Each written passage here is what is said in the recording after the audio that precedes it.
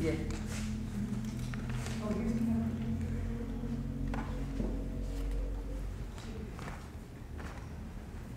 Fred won't be here yet.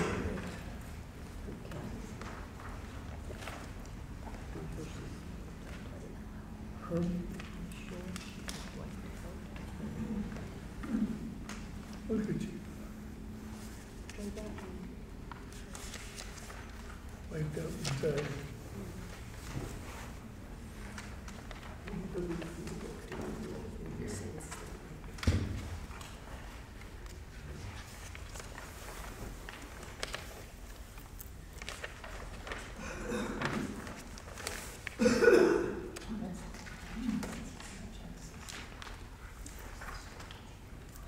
Good morning and welcome. Remember to turn on the mic. I think you can all hear me here, but the people who are with us on our live stream need me to be mic'd. We're delighted that you're with us. Um, if you're with us online, the bulletin is available at www.nativityonthehill.org. We'll begin with a prelude.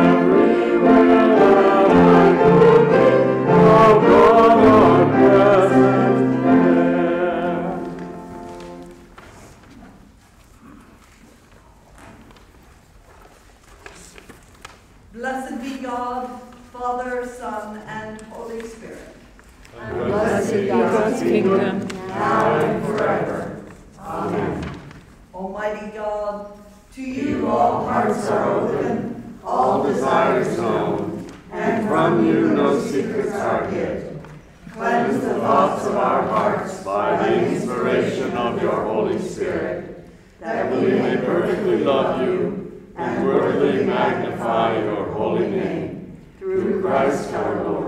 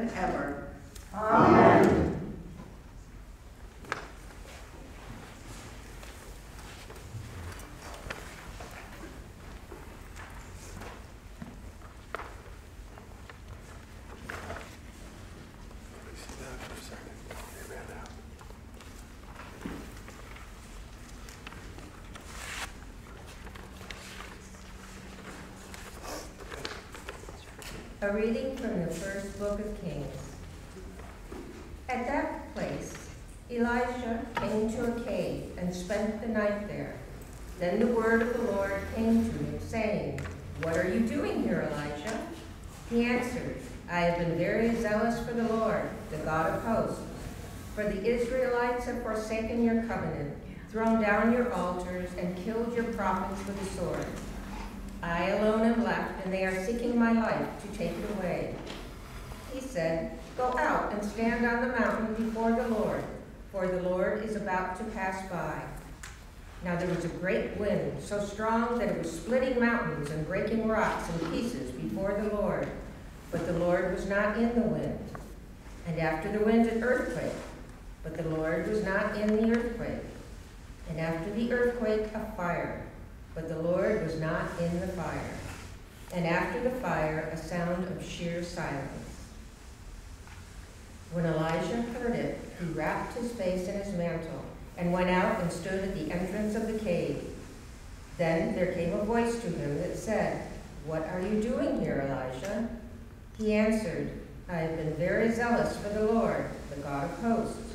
For the Israelites have forsaken your covenant, thrown down your altars, and killed your prophets with the sword. I alone am left, and they are seeking my life to take it away. Then the Lord said to him, Go, return on your way to the wilderness of Damascus. When you arrive, you shall anoint Hazael as king over Aram. Also, you shall anoint Jehu, son of Nimshi, as king over Israel. And you shall anoint Elisha, son of Shaphat, of Abel Meholah, as prophet in your place. Whoever escapes from the sword of Hazael, Jehu shall kill. And whoever escapes from the sword of Jehu, Elijah shall kill. Yet I will leave 7,000 in Israel, all the knees that have not bowed to Baal, and every mouth that has not kissed him. The word of the Lord. Thanks be to God.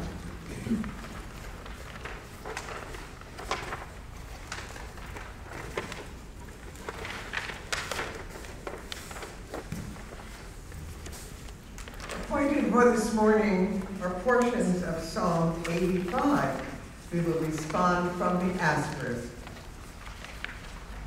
I will listen to what the Lord God is saying. For God is speaking peace to his faithful people and to those who turn their hearts to him. Truly, his salvation is very near to those who fear him. That his glory may dwell in our land. Mercy and truth have met together. Righteousness and peace have kissed each other. Truth shall spring up from the earth. And righteousness shall look down from heaven. The Lord will indeed grant prosperity. And our land will yield its increase.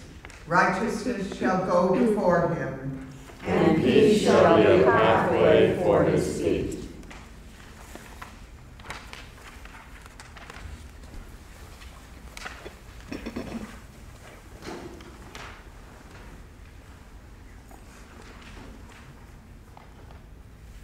A reading from the letter of Paul to the Romans. Moses writes concerning the righteousness that comes from the law, that the person who does these things will live by them. But the righteousness that comes from faith says, Do not say in your heart, Who will ascend into heaven? That is, to bring Christ down. Or who will descend into the abyss? That is, to bring Christ up from the dead. But what does it say? The word is near you, on your lips and in your heart. That is the word of faith that we proclaim. Because if you confess with your lips that Jesus is Lord and believe in your heart that God raised him from the dead, you will be saved. For one believes with the heart and so is justified, and one confesses with the mouth and so is saved. The scripture says, No one who believes in him will be put to shame. For there is no distinction between Jew and Greek. The same Lord is Lord of all, and is generous to all who call on him. For everyone who calls on the name of the Lord shall be saved. But how are they to call on, on one in whom they have not believed? And how are they to believe in one of whom they have never heard? And how are they to hear without someone to proclaim him?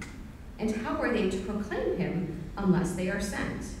As it is written, How beautiful are the feet of those who bring good news. The word of the Lord. Thanks be to God.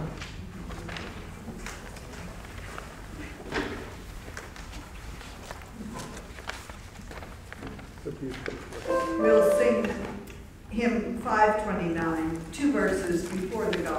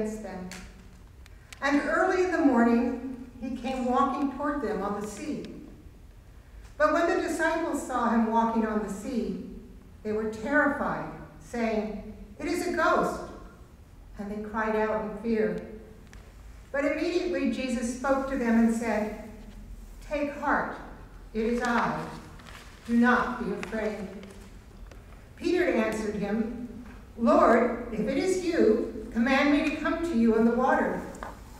He said, Come. So Peter got out of the boat, started walking on the water, and came toward Jesus. But when he noticed the strong wind, he became frightened and began to sink. He cried out, Lord, save me. Jesus immediately reached out his hand and caught him, saying to him, You of little faith, why did you doubt? When they got into the boat, the wind ceased, and those in the boat worshipped him, saying, Truly, you are the Son of God. The Gospel of the Lord. Praise to you, Lord Christ.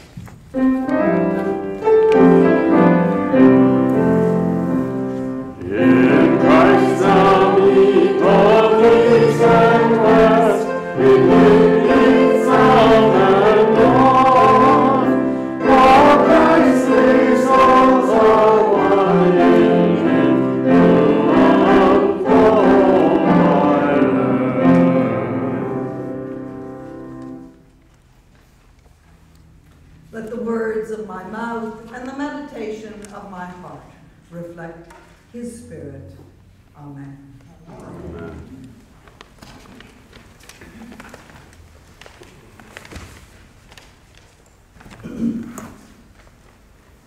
As I read this gospel passage and saw Peter wondering about Jesus, I remembered a day in seminary.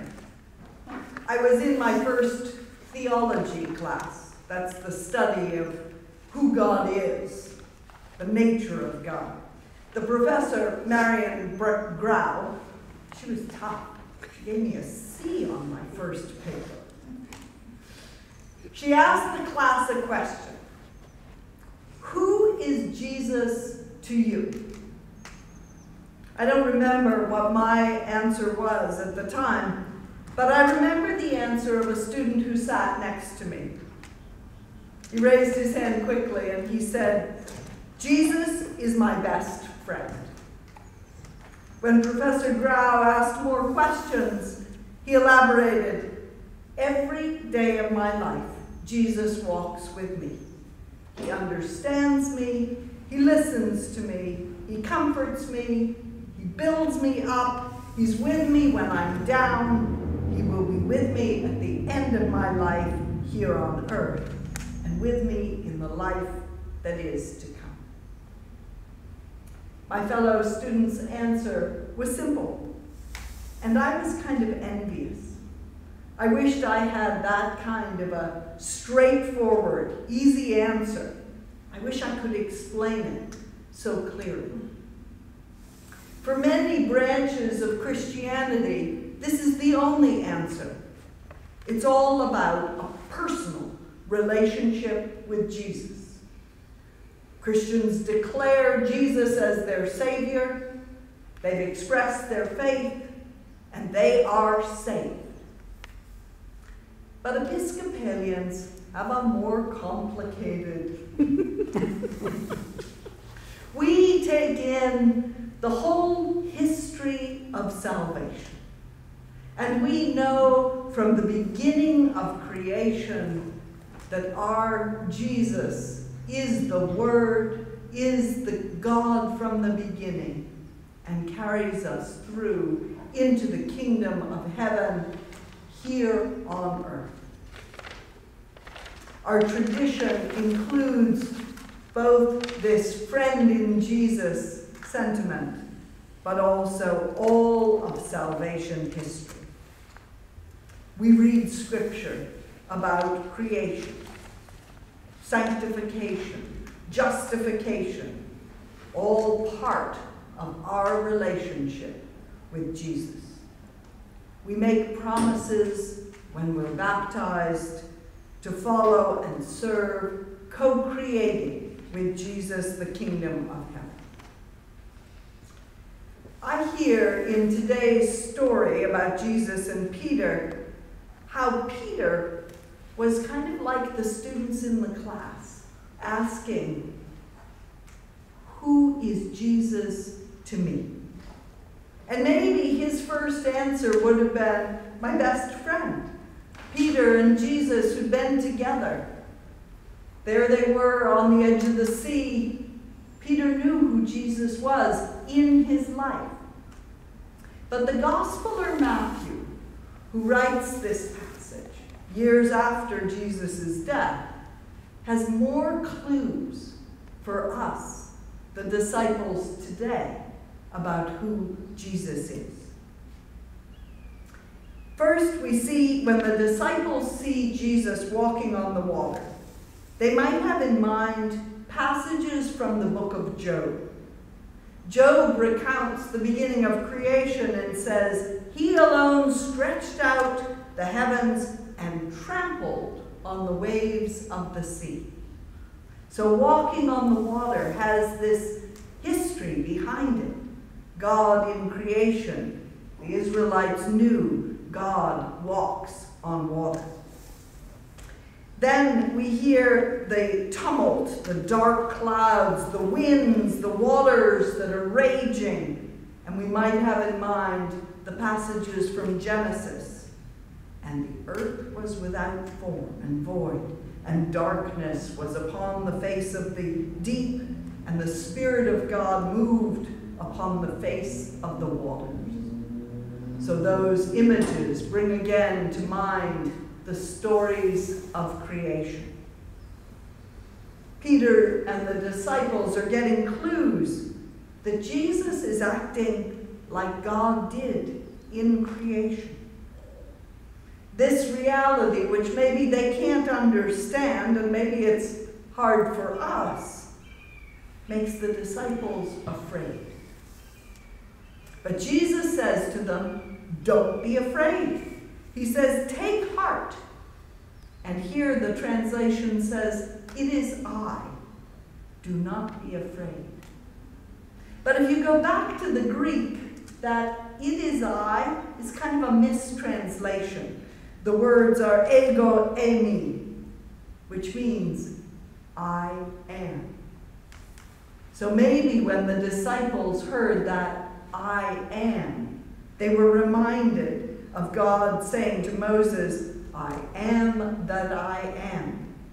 And he said, Thus shalt thou say unto the children of Israel, I am hath sent me unto you. So when Jesus says, Take heart, I am, they would have in mind that sense of God who is the beginning of all things. Peter then calls out to Joseph, to Jesus. He's walking on the water, beginning to sink, and he says, Lord, save me. He's responding as God demanded the people of Israel to respond. In today's passage from the book of Kings, we hear God saying through Elijah, Tell the people to call upon me and strike down all those that look to other gods, those that are looking to Baal, that god of that pagan god of that time, those that are kissing the graven image of Baal. Smite them, put them down. But I'm going to save the ones who put their trust in me. And so here we have this clue Peter, the faithful one, puts his trust in Jesus and says, Lord, save me. Now, I meditated on that part and I thought, well, that's obvious. Of course, we trust our God. And when we're in trouble, we call on God.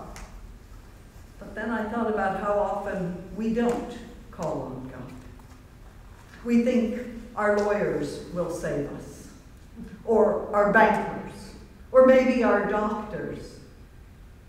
We put our trust in systems that we have created and forget that our whole trust must be in God. The theology here is not a simple Jesus is my friend. Jesus has shown himself to Peter and the other disciples as part of God's creative work from the beginning. He's the one who walks on water, he calms the sea, he lifts Peter up to save him. He declares, I am. And I wonder what we're supposed to do with this message. What do we do with this deep understanding of Jesus as our Savior? Knowing who Jesus is to us personally and saying it out loud makes all the difference. Praying to Jesus, asking, Jesus, what would you have me do? How can I be part of your creative work in the world? How will I be saved as we together seek to save all of creation? The people, the plants, the animals. In times of trouble, how will Jesus work within us and through us to bring that kingdom? What we can take away from Scripture today is an instruction about the nature of Jesus. More than a gentle teacher who guides us, He is our God, our Creator, our Sustainer, and our Savior. When He lifts Peter up out of the water, He is prefiguring for us that saving grace which lifts us from the chasm of death into new life. He is promising us that through our baptisms we will be raised up with Him, saved from the abyss, brought into new life. Jesus demands of us a faithfulness that goes beyond the trust that we put in other people. He invites us to call Him Savior to know Him, trust Him, and make Him the very center of our existence. We are the ones who are sent to proclaim Him. As the letter of Paul said, as it is written, how beautiful are the feet of those who bring the good news. Amen.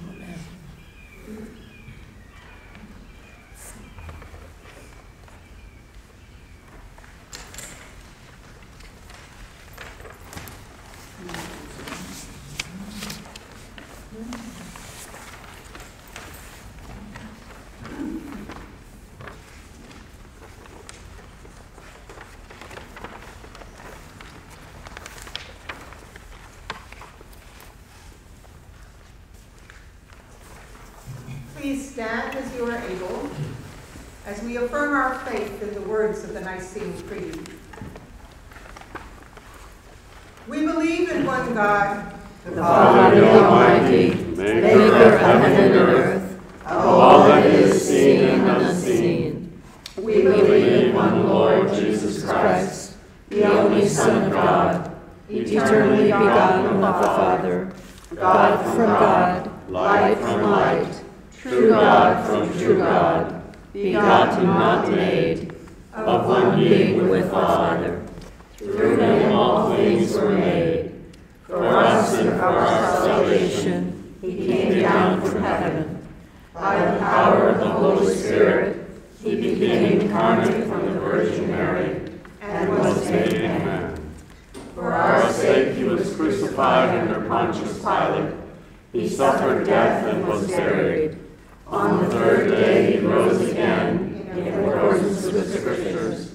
He ascended into heaven and is seated at the right hand of the Father. He will come again in glory to judge the living and the dead, and his kingdom will have no end. We believe in the Holy Spirit, the Lord, the giver of life, who proceeds from the Father and the Son.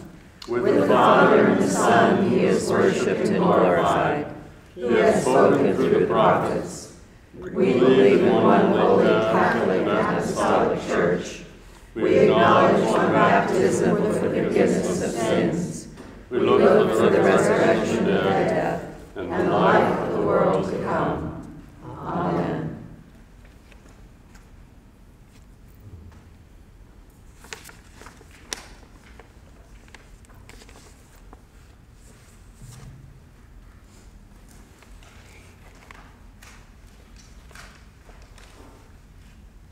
The prayers of the people.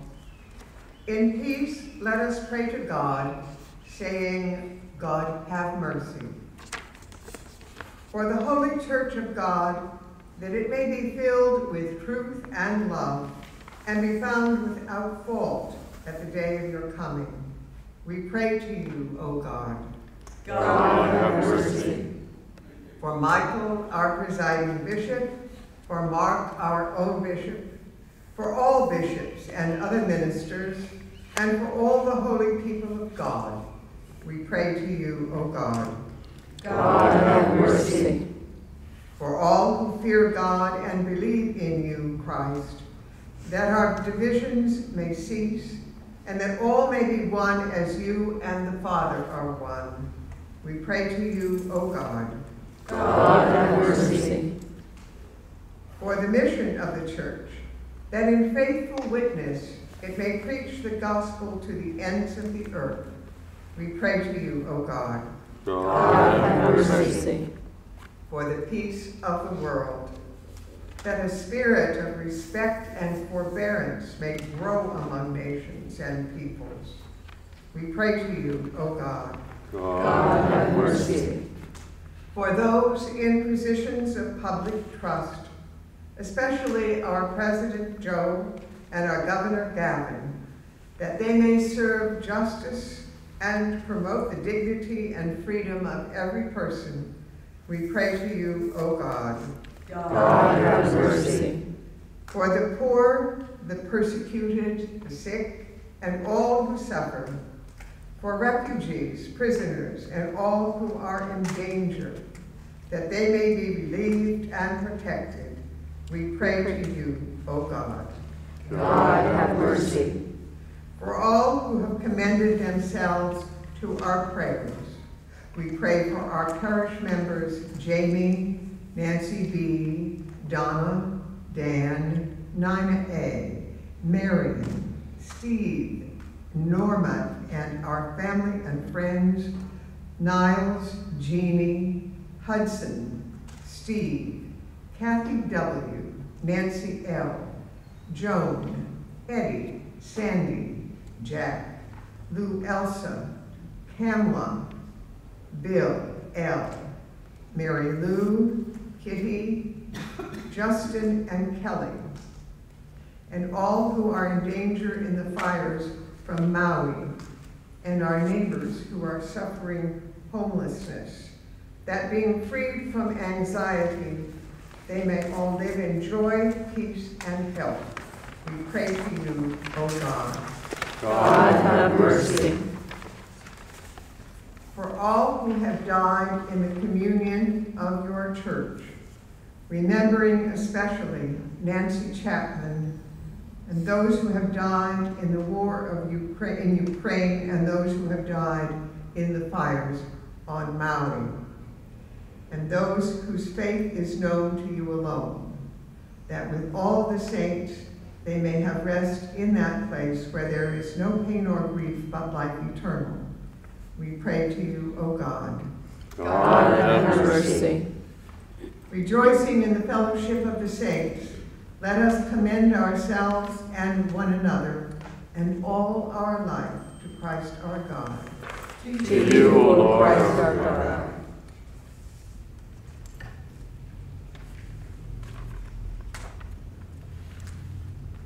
For yours is the majesty of Father, Son, and Holy Spirit. Yours is the kingdom and the power and the glory, now and forever. Amen.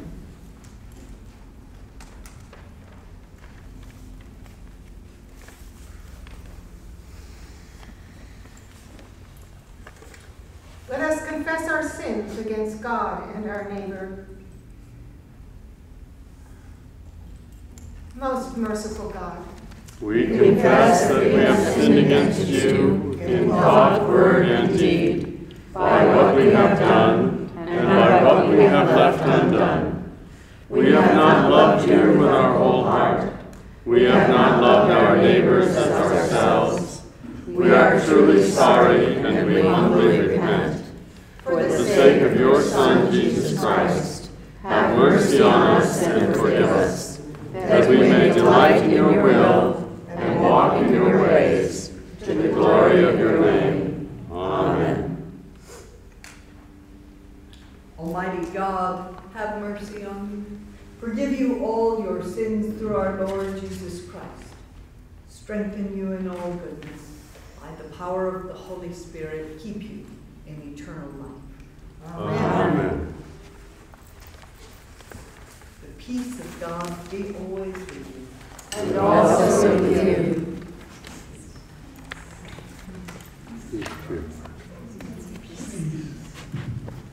Peace peace be with you. Peace. Peace peace to all who are with us online. God's Peace be with you. Peace with you. Peace. Peace.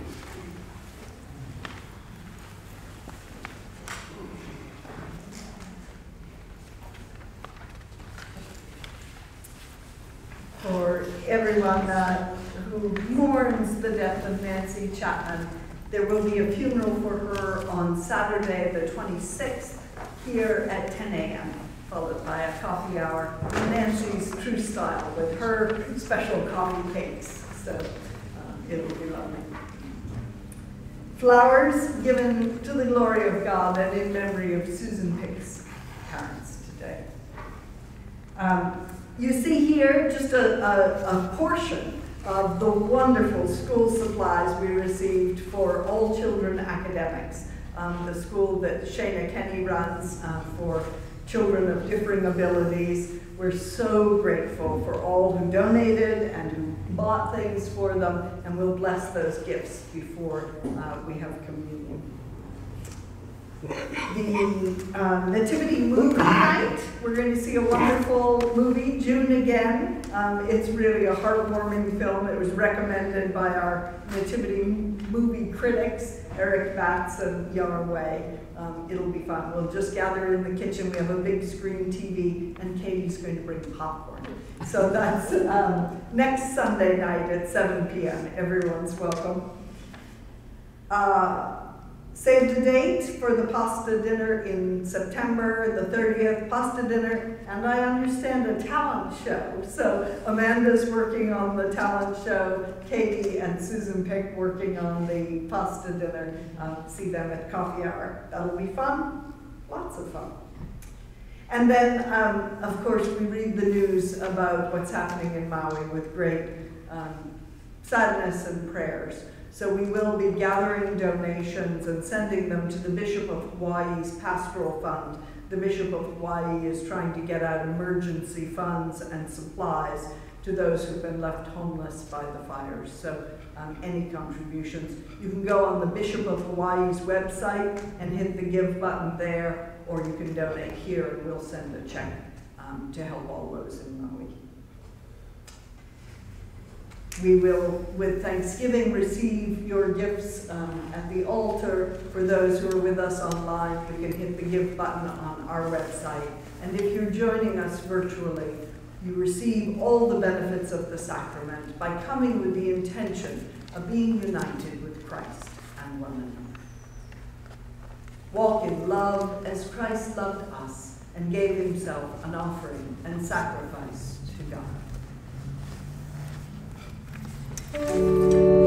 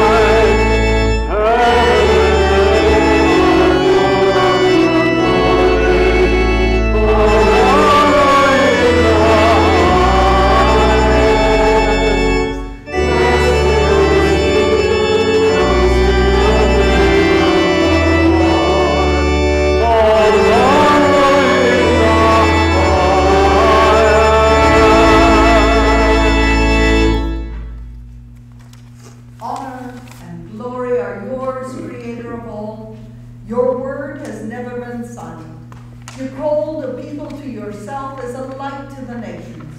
You delivered them from bondage and led them to a land of promise.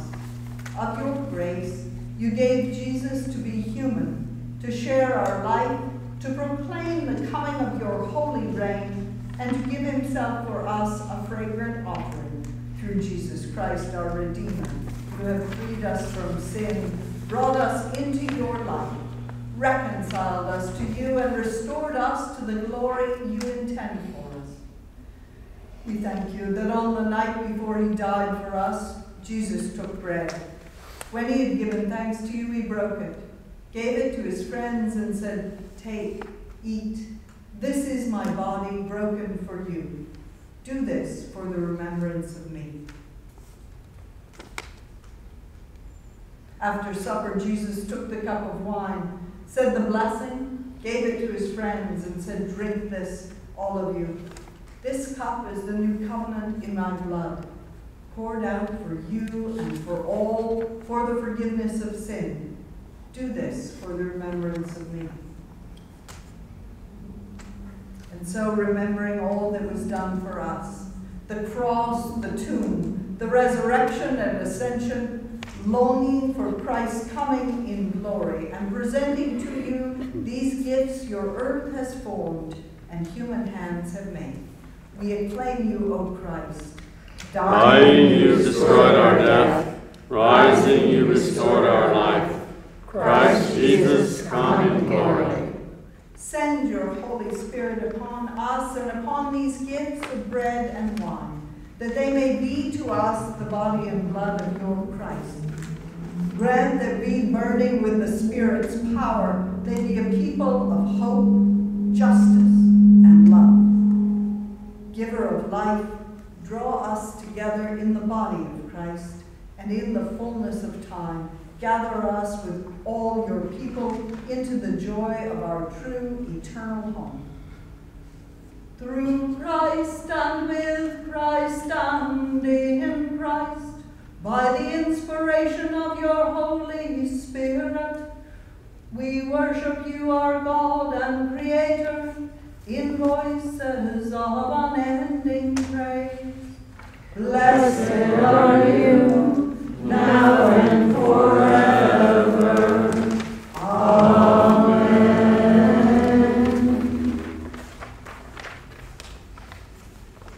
As our Savior Christ has taught us, we now pray.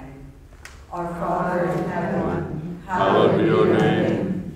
Your kingdom come, your will be done, on earth as in heaven. Give us this day our daily bread, and forgive us our sins as we forgive those who sin against us. Save us from the time of trial, and deliver us from evil. For the kingdom, power,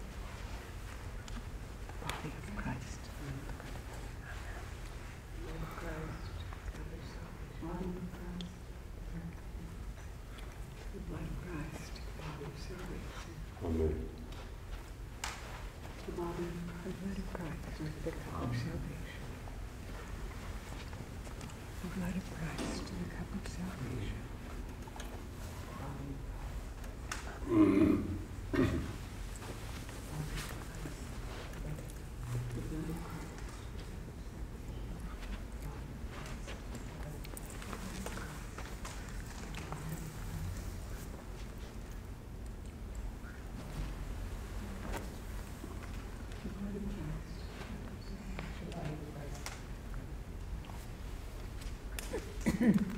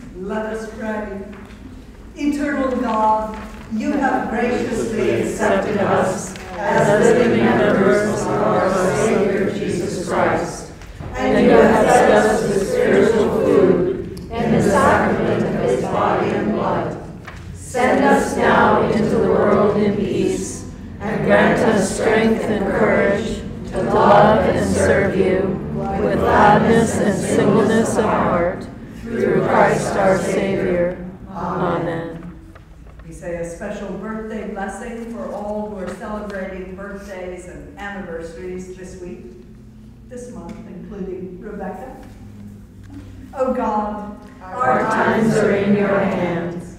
Look with favor, we pray, on your servants as they begin